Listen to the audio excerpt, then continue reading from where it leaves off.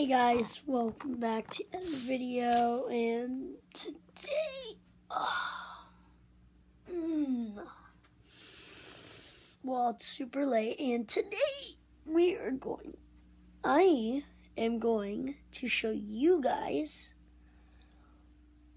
probably maybe the greatest or some of the greatest Pokemon you've ever seen or that's ever sold. I really hope you guys like this video.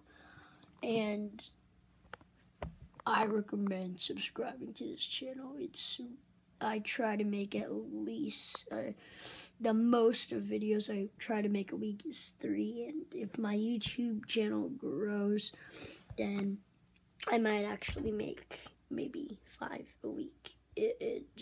Has to grow. I got to get more subscribers, and you know, all that stuff. And um, I'll be right back with you.